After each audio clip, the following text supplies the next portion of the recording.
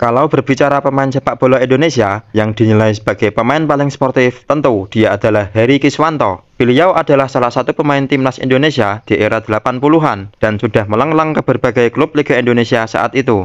Julukan sebagai pemain sportif tentu tepat disematkan kepada Heri Kiswanto. Bagaimana tidak? Selama 17 tahun berkarir sebagai pemain sepak bola, hanya menerima satu kartu kuning, itu pun didapat bukan karena pelanggaran, melainkan karena melakukan protes kepada wasit. Setelah berkarir sebagai pemain sepak bola, Heri Kiswanto melanjutkan karirnya sebagai pelatih. Namun, kabar kurang mengenakan dialaminya dalam berkarir sebagai pelatih, yakni pada tahun 2014 silam.